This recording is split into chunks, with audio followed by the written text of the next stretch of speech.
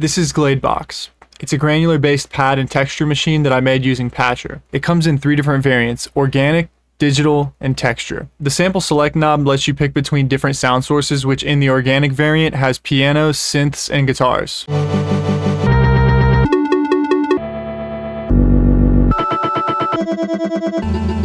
The four controls on the top of the grain maker help shape how the sound's played.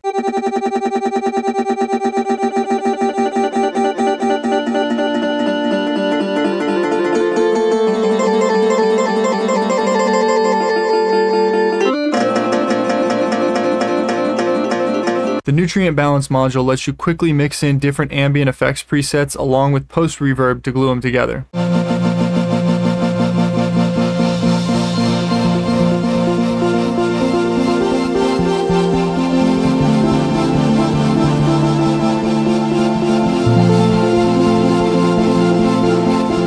The digital variant has a more digital sample set.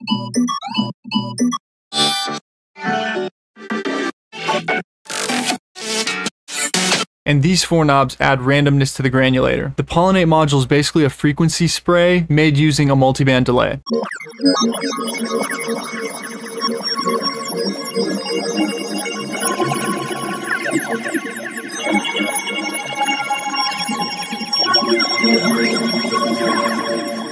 Lastly, the texture variant has more textury and like effects based sample sets.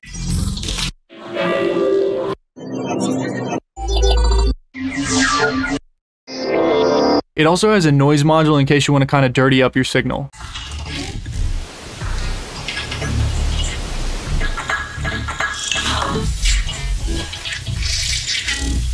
A solo button so you can hear just the noise.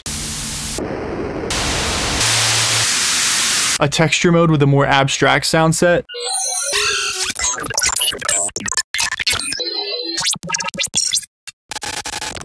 And a follow grains button, which basically just makes the noise generator follow the amplitude of the granular generator.